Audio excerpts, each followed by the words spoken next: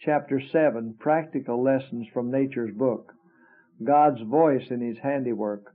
Wherever we turn, we hear the voice of God and behold His handiwork. From the solemn roll of the deep toned thunder and old ocean's ceaseless roar to the glad songs that make the forest vocal with melody, nature's ten thousand voices speak His praise.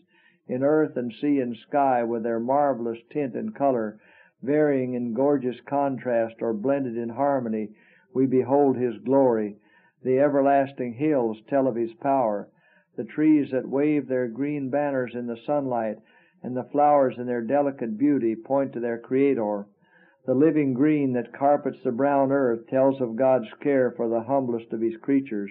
The caves of the sea and the depths of the earth reveal His treasures.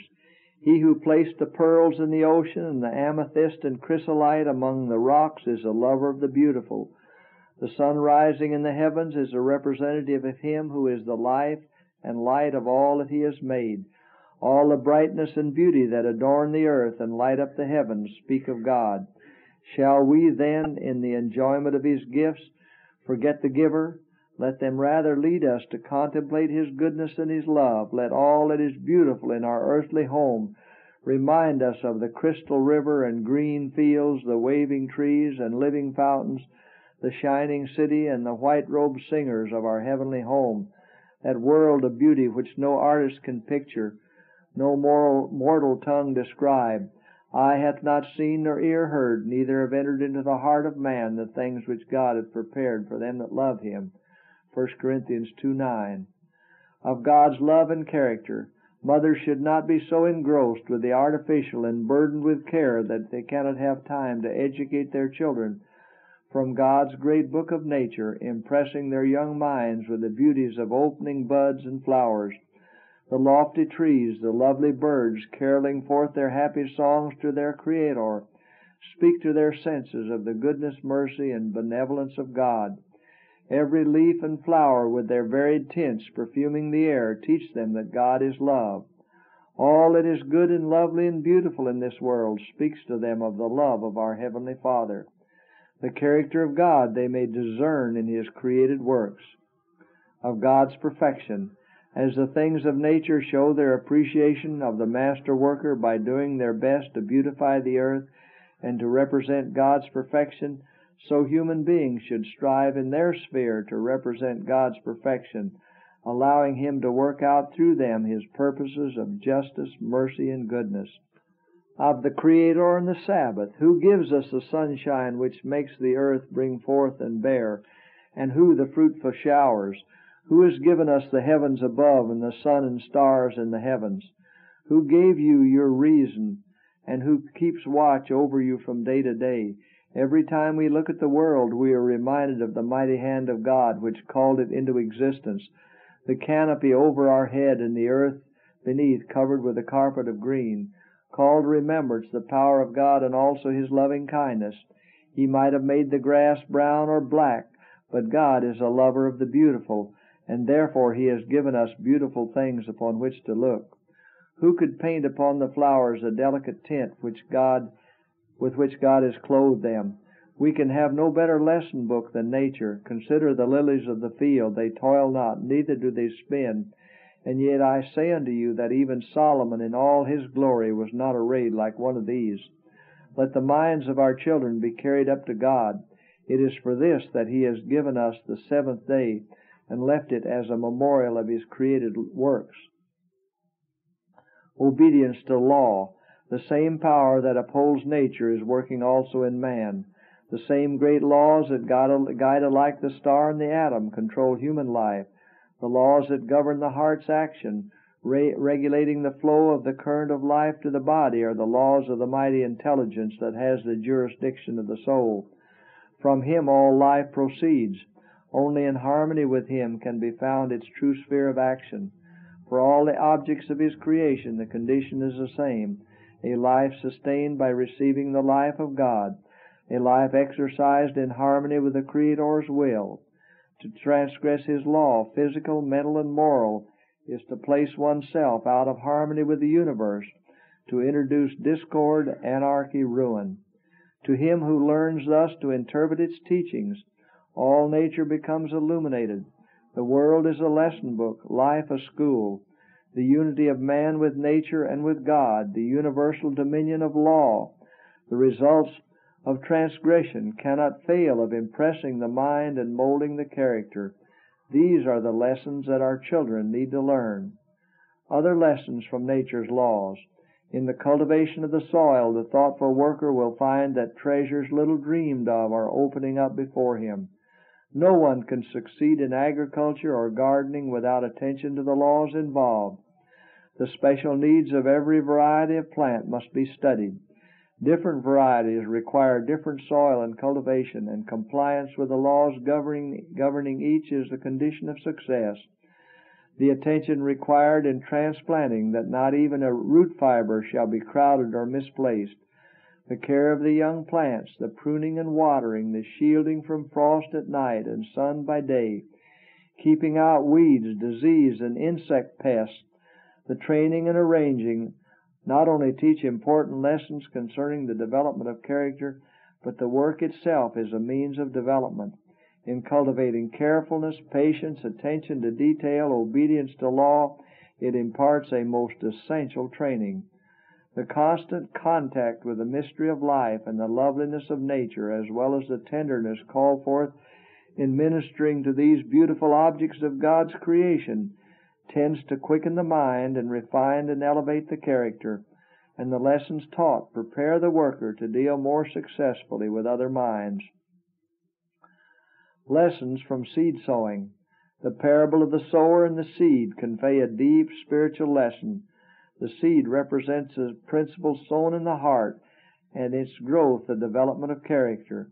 Make the teaching on this point practical. The children can prepare the soil and sow the seed and as they work, the parent or teacher can explain to them the garden of the heart, with the good or bad seed sown there, and that as the garden must be prepared for the natural seed, so the heart must be prepared for the seed of truth. As the plant grows, the correspondence between the natural and the spiritual sowing can be continued. As the seed is cast into the ground, they can teach the lesson of Christ's death, and as the blade springs up, the truth of the resurrection. The garden of the heart needs cultivating. From the tilling of the soil, lessons may constantly be learned. No one settles upon a raw piece of land with the expectation that it will at once yield a harvest. Diligent, persevering labor must be put forth in the preparation of the soil, the sowing of the seed, and the culture of the crop. So it must be in the spiritual sowing. The garden of the heart must be cultivated. The soil must be broken up by repentance. The evil growths that choke the seed, the good grain must be uprooted.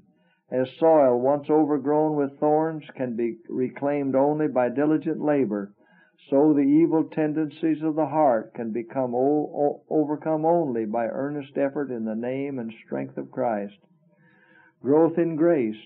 Tell your children about the miracle working power of God. As they study the great lesson book of nature, God will impress their minds the farmer plows his land and sows his seed, but he cannot make the seed grow.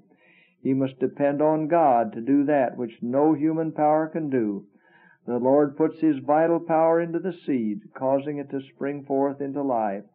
Under His care, the germ of life breaks through the hard crust encasing it and springs up to bear fruit.